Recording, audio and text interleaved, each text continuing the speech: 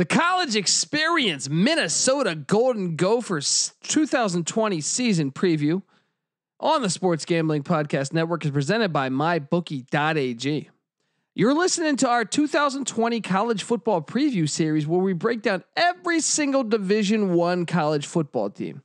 When betting on college football, make sure you go to mybookie.ag and use the promo code SGP for a deposit bonus up to $1,000. That's mybookie.ag, promo code SGP. You play, you win, you get paid over at mybookie.ag.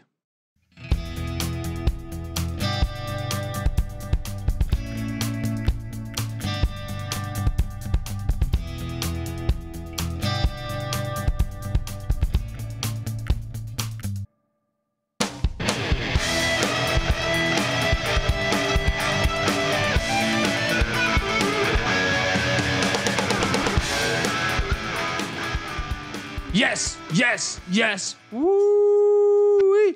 Welcome, welcome to the college experience. My name is Colby Swinging Dantabase Dan, aka Pick Dundee, in the place to be, and I'm joined by my co-host, former, former James Madison defensive back, Patty C, in the place to be. Oh, Patty C, if you're gonna row this boat, yes.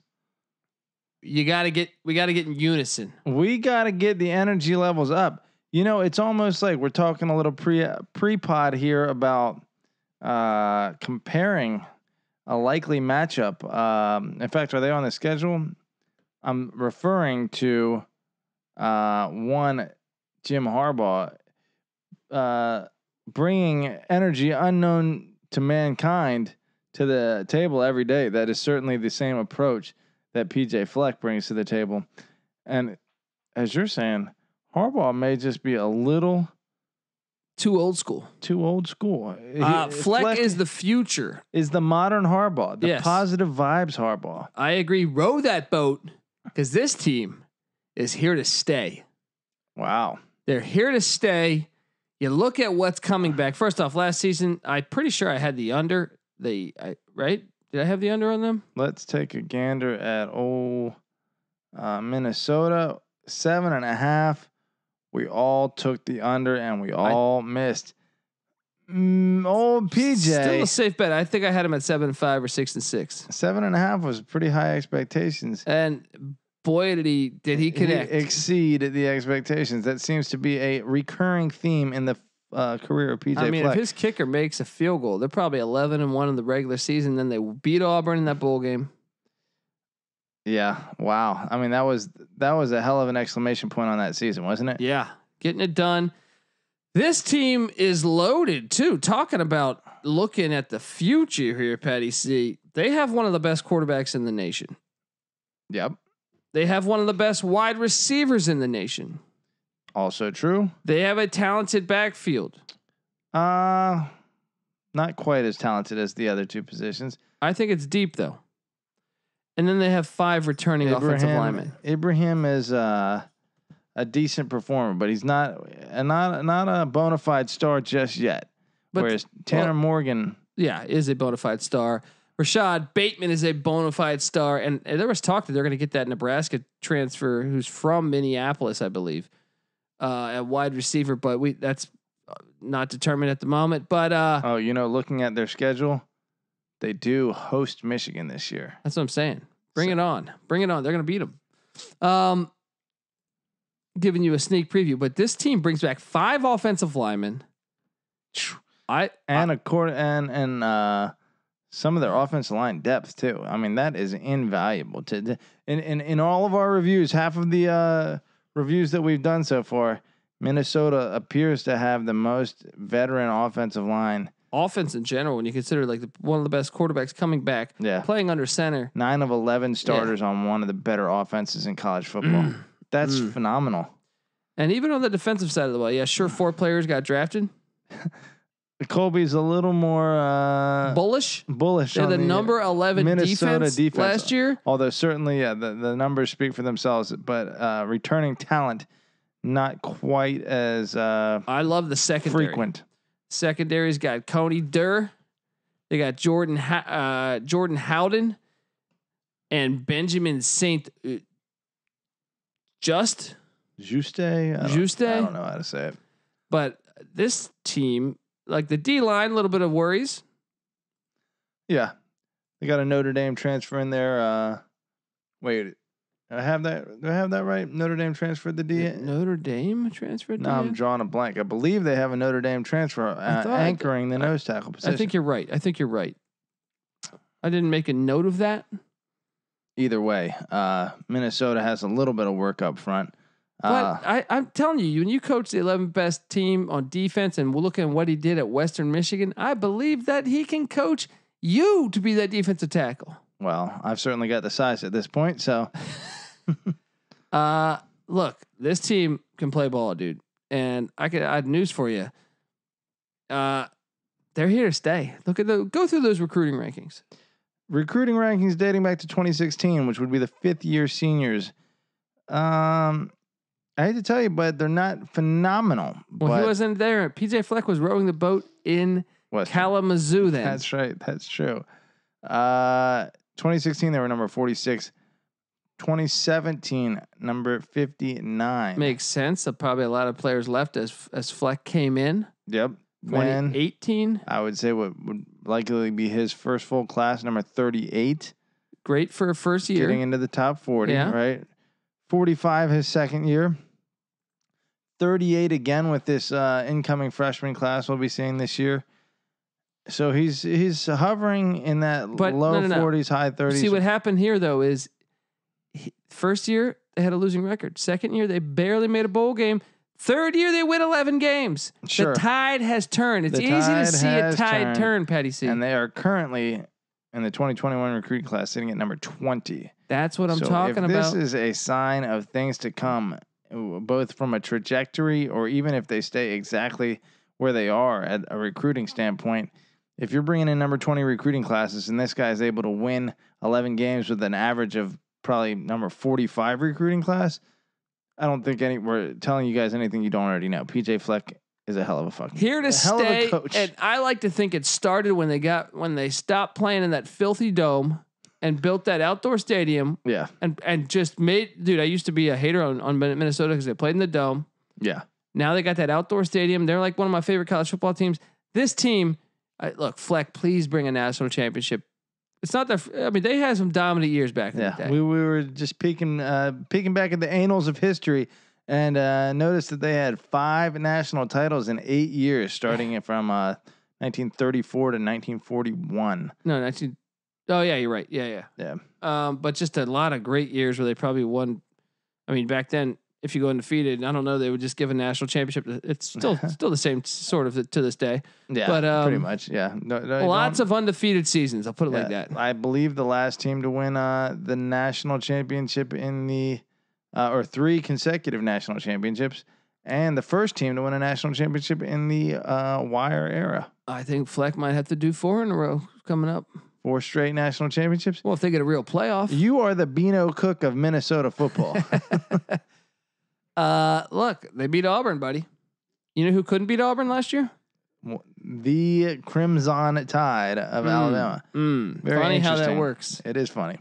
Uh, okay. Well, we are going to go game by game, breaking down. Well, we know COVID hit, so they're not going to play Florida Atlantic, Tennessee Tech, or BYU anymore. But the nine game uh, Big, Big Ten schedule, and obviously the Big Ten is going to add another game in there at some point. We'll hypothesize on what might that be, and um, and we'll go from there. Talking Minnesota Golden Gopher football with Patty C on the college experience. Row the boat, row the boat, row the boat. We'll be back after these messages from our sponsor. We're back rowing the boat on the college experience with Patty C and Pick Dundee. Whew, that's not a pick. This is a pick. And look, this is a pick to see a team that is going to finish in the top 15. Telling you right now, Patty C. well, their schedule certainly sets up interestingly. Obviously, the nine game conference schedule makes it a little easier to schedule um, on conference only 10 game schedule. All you got to do is add one more. But an early bye, or I guess what won't be played is against BYU. And No, so- they're going to move that Iowa game there, I believe. okay. So Saturday, September 26th, they'll probably be playing the Hawkeyes as they try to buy as much time from COVID. I they're the Iowa game was a great game in in uh, in Iowa City last year. They had their chances to win that game, missed a field goal, and then uh, you know the wheels fell off. Man, But opening the season for Floyd of Rosedale. they're gonna win that. They're gonna win that in, in Minneapolis. Man, bold statement. You can take that to the bank, Patty C. Wow. I mean, Kirk Ferentz uh, probably has a fire lit under his ass after a tumultuous offseason. Um, now, Iowa, we're not playing in Iowa City, and so I was breaking in a new quarterback. and PJ Fleck's, damn good. I, I actually might even. Th- I don't know. It's tough to say. We got to give uh, Kirk Ferentz has earned the respect of a Of course, I love some Kirk and, Ferentz, and but the reputation. But I mean, when you talk about like, they're winning this game. The win Minnesota's winning this game. I agree with you. I think Minnesota with Tanner Morgan, they're gonna get. They're gonna keep the ball moving. They have the answers for that hard as nail Hawkeye defense, and enough answers. I'll say. No one has the answers to the Hawkeye defense, but they have enough. Week two, they're at Maryland. Win. Yeah. This is the biggest game of the year right here. Ooh, this is for the division. Not Maryland, but this next one, In Saturday. October or October 10th. Minnesota is going to get revenge on the the Badgers of Wisconsin at Camp Randall. But if there's no fans there, Patty C, I say the more talented roster is the Gophers. Well, we're three months out, I believe. Yes, August, September, October. If fans are there, I'm taking Wisconsin all day. With Yeah, no fans, give me Minnesota. Randall jumping around, but uh, it's I expect a dogfight either There's way. There's one really good quarterback in this game. and it ain't Jack Coan. Yes. uh, that's true. And if that- there's no fans, if there's fans, I'm taking Wisconsin all day. that's a big if, buddy. We need some a little more certainty out of you. What's gonna happen here? I'm taking I'm taking Minnesota. If I there's actu- one game they lose, though, it's going to be this. Yeah. Actually, no, give me, give me Minnesota. Man, I think I agree with you. Give me Minnesota. I mean, he's just he's got them playing so well coming out of last year, and that offense is coming, and the defense, even though they're losing so much, was so.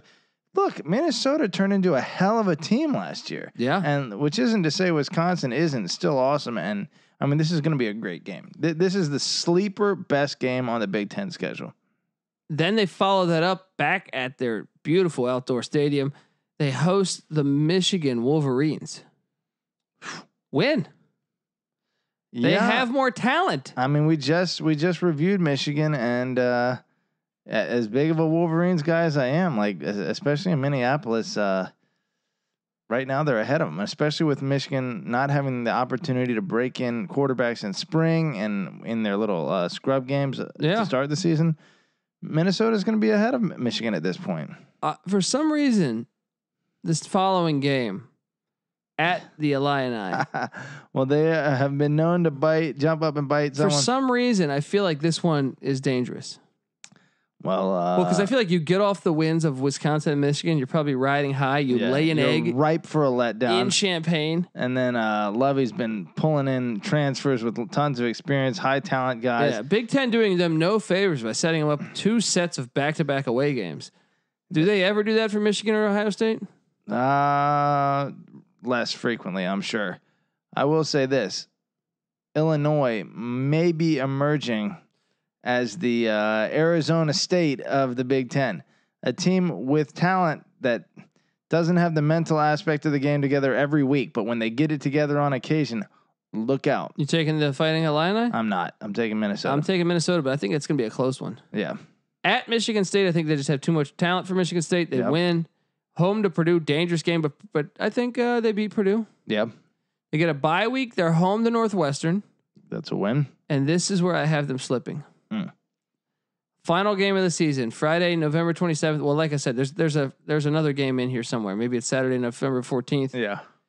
If See they who they get. Ohio State on this thing, if they draw Ohio State or Penn State, then obviously they might lose. But if not, I think they could run this table. Well, here's the thing.